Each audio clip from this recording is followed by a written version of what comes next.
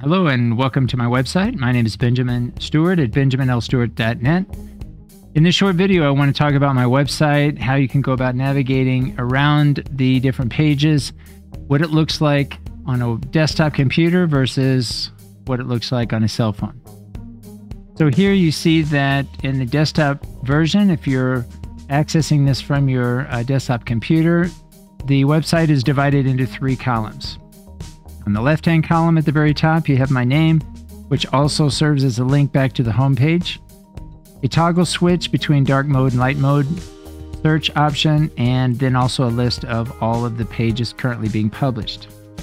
In the middle column, you'll have the course content itself. In this home page, I have um, a link to more information about the site. I have current courses that I'm teaching, and I have information about my podcast and newsletter.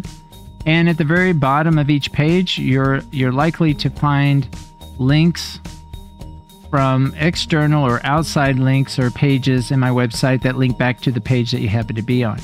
So for example, if I go into the thesis seminar homepage and scroll down towards the bottom, you'll see the list of other pages that link back to this page. So this is a good way to navigate around depending on what you're looking for to find relevant information related to the page that you happen to be on. On the right hand column at the very top, you have an interactive graph that has two different views a local view and a global view. The local view is a link of the nodes or the connected pages of the page that you happen to be on. So if we go back to the home page by clicking on here my name, this will take you back to the home page and you'll notice that these are the links to this home page. And if I click on thesis seminar, this is what it looks like. You can blow this up by clicking the up arrow and zoom in and out and scroll around as you need to. If you go back to the home page and select this icon, the global graph, then you have a link or a, a graph of the entire website. And again, you can zoom in and out and scroll around. And it just provides another way of visually accessing different connected pages throughout my website. Just below the interactive graph, you have the table of contents.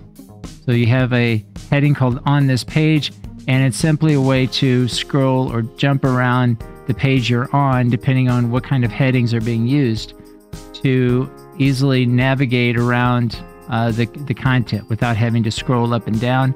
You can select these different headings and subheadings to find the information you're looking for. So this is what it looks like on a desktop computer. Let's see what it looks like on a cell phone. So as you see here, the default version is what we see in the middle column on the desktop version. We have here uh, the content information on the page itself. And if we scroll down at the bottom, we have the links to this page option. Of course, we have the outside links that go back or link back to the home page. If you click the hamburger menu at the top left hand corner of your screen, we have the toggle back and forth between the dark mode and light mode, like what we saw in the left hand column of the desktop view. And we have the search option along with the published pages as well. And we can scroll back here, go back to the home page. And essentially what we don't have is the, the right-hand column where we have the interactive graph and the table of contents. That's not available in currently in the uh, version of uh, the mobile version uh, of viewing the website. So let's go back to the desktop version.